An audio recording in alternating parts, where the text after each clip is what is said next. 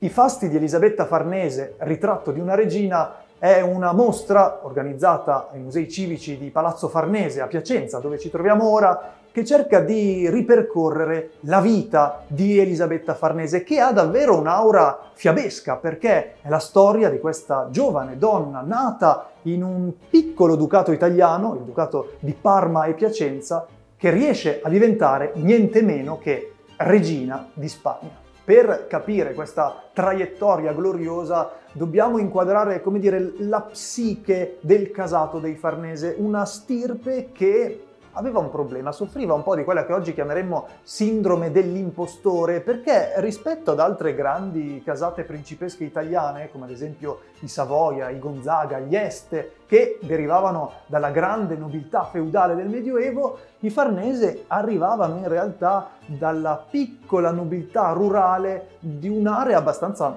marginale della penisola, la Tuscia, l'area più interna del Lazio, una zona molto ricca di boschi, di farnie, le tipiche querce europee. Tra l'altro pare che proprio dalle farnie derivi il cognome Farnese a cambiare il destino di questa famiglia fu un uomo, il cardinale Alessandro Farnese, diventato Papa Paolo III, grazie al quale i Farnese divennero una vera e propria dinastia. E come riuscì in questa impresa? Ci riuscì ottenendo nel 1534 per Pierluigi, il suo figlio primogenito, che un papa avesse figli all'epoca non scioccava nessuno, il ducato di Parma e Piacenza, ovvero quello in cui sarebbe poi nata nel 1692 la nostra Elisabetta Farnese e senza il quale lei stessa non sarebbe mai diventata regina di Spagna.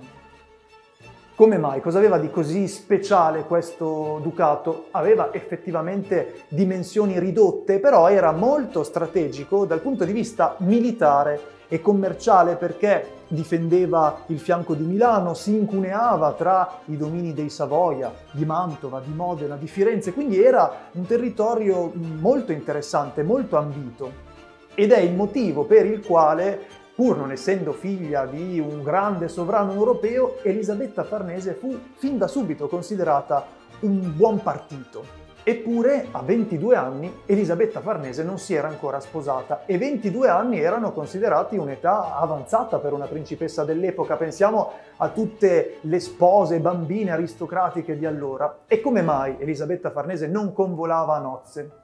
Per via di una saggia scelta dei suoi genitori, molto scaltri, il duca Francesco e la contessa Dorotea Sofia di Neuburg, che temporeggiavano sulla scelta del marito per la figlia. Avevano in realtà avviato tutta una serie di trattative matrimoniali con i Savoia, i signori di Modena, Mirandola, però nessuna di queste eh, trattative, di queste strategie le aveva lasciati soddisfatti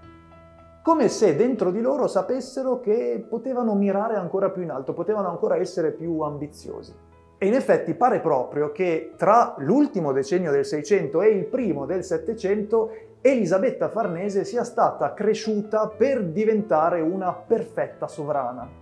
Aveva studiato il latino, conosceva diverse lingue straniere e poi era stata educata a varie forme d'arte, teatro, musica, imparò a suonare il cembalo, la danza, studiata con un maestro di ballo francese, e poi la pittura, che Elisabetta apprese dal fiammingo Ferramonti e dal piacentino Avanzini.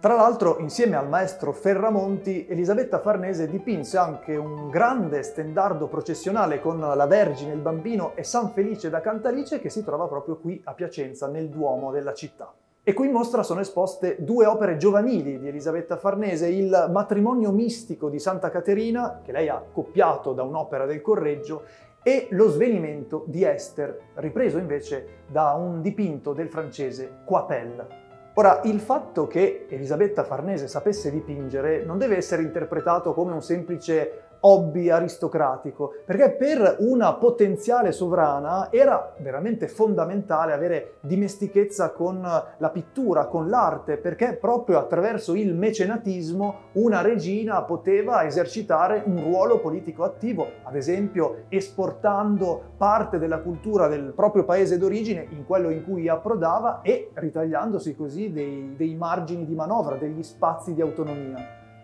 Potremmo quasi dire che il legame tra arte e politica è proprio un tratto caratteristico del loro casato. Oggi diremmo fa parte della loro brand identity in qualche modo, perché usarono l'arte già ai tempi del loro arrivo a Roma, ricordiamo che arrivavano dalla provincia, come forma di affermazione in città e di legittimazione del proprio potere. Pensate solo a cosa dovesse significare farsi ritrarre da un grande artista come Tiziano, come fece Papa Paolo III, oppure abitare nel Palazzo Farnese, che oggi è sede dell'ambasciata di Francia a Roma, progettato tra gli altri da Michelangelo, o in quello ancora più sfarzoso di Caprarola. Era proprio una forma di propaganda e una logica simile fu adottata dai Farnese anche nel loro ducato di Parma e Piacenza. Il nonno di Elisabetta Farnese, Ranuccio II, fece rinnovare il Palazzo della Pilotta a Parma, qui a Piacenza il Palazzo Farnese che fu decorato dal veneto Sebastiano Ricci con una serie di tele che celebravano i, i grandi protagonisti della famiglia. Quindi non sorprende che Elisabetta Farnese, cresciuta nel Palazzo Ducale di Parma, circondata da opere di Correggio, Carracci, Parmigianino, vedendo quanto avessero costruito i suoi antenati, sia stata spinta a emularli. E quindi anche i cosiddetti fasti di Elisabetta Farnese, la serie di tele commissionate per raccontare il suo matrimonio reale, devono essere inserite in questa strategia di affermazione familiare. Sì, perché alla fine il sogno dei genitori di Elisabetta, convinti che avrebbero trovato un super marito per la loro figlia, beh, si avverò, la loro strategia, il loro tentativo di forgiare una sovrana perfetta diede i suoi frutti perché nell'estate del 1714 arrivò nel Ducato di Parma e Piacenza un'offerta di matrimonio prestigiosissima, l'offerta di matrimonio da parte di Filippo V, re di Spagna, nipote del potentissimo Luigi XIV di Francia, il Re Sole. E da quel momento per la giovane Elisabetta Farnese inizia un'altra storia.